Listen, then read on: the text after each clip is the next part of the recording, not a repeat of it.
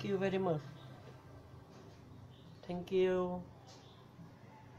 Two years ago go to with me. Thank you.